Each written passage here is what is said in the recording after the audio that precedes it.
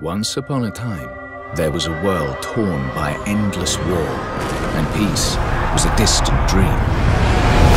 But then came a great king, one who would change this world forever.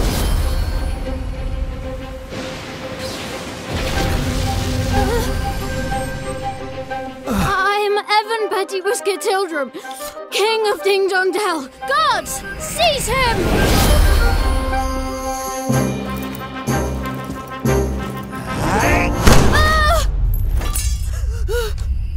We have to leave. There you are, Your Majesty. I'm afraid I must ask you to relinquish your life. You are the kingdom's last hope, Evan. Cannot die.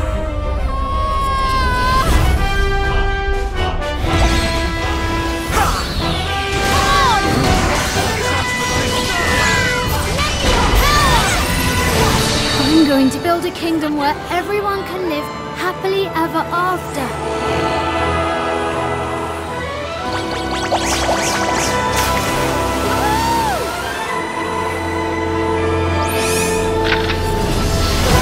For this?